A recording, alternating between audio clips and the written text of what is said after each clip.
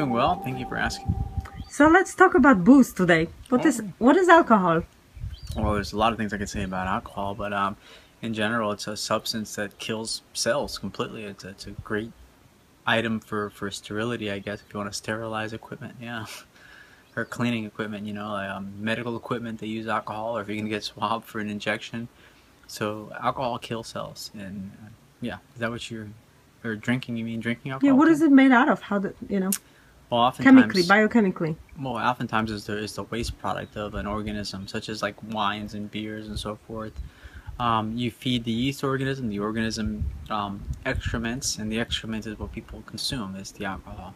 So you're eating shit, basically. People are eating shit and drinking shit, and they think that's something that alleviates their pain and suffering, when in reality, it's because they're eating bad foods, including all meat products, dairy, eggs, fish, whatever, and um, and their vessels are so constricted and so blocked up and constipated, and the pressure is so painful that the alcohol is gonna gonna not release the pressure, but it's gonna take the, the it's gonna numb someone. It's gonna numb you. So that's the effect it has on you. It just numbs you. It doesn't wake you up at all. Yeah. So basically, you said that that alcohol is the excrement Excrement of living organisms. of the of the yeast. Of any, any organism, yeah, but yeast especially, bacteria and so forth. It's it's going to be the alcoholic effect. It's an acidic. Um, it's a substance that is uh, maybe not. So what's the best acidic. solution for you to quit alcohol? Because you used to be alcoholic Oh yeah, before. I was alcoholic. Yeah. okay, Um, how much did you drink before? Oh my god! In high school, I was drinking um, not all of high school, but I remember I was drinking um. Jeez, a gallon of vodka and orange juice every weekend, and throughout the day, I, w- I would find some way to sneak some sort of alcohol into my uh, container, or a drinking container, let's say like a sports drink container. So I was drinking a lot, you know, in um, my junior and senior year, I guess, mostly of high school. And then from that point on, in the military and so forth, I drank. I used to drink so much; it was ridiculous. I can't even tell you.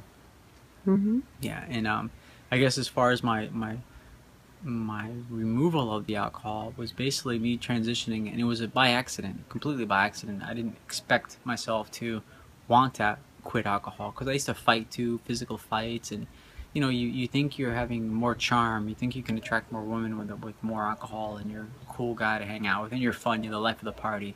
But in reality, you're just another loser, another depressed loser, you know, who's who's substituting, you know, reality, you know, this fictional belief system for reality. We're just swapping out, you know, stories. So what I found out when I did a cleanse back in 2004, I was over 210 pounds.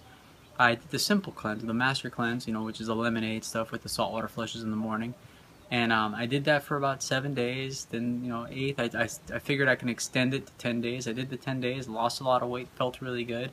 And I realized that I didn't, I no longer needed to consume alcohol to feel good about myself my body. I started knowing myself greater. And That's that's my passion to know myself much greater. I mean, I don't care about knowing any more that I need to know about alcohol or eggs or fish or you know um, all this other stuff or religions. I don't want to know all these things. I want to know myself greater.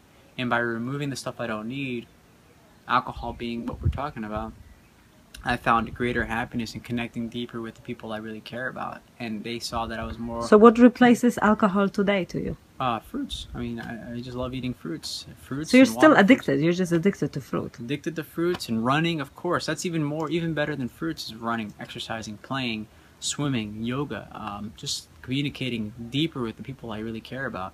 So that's what replaces the alcohol, you know, deeper connection.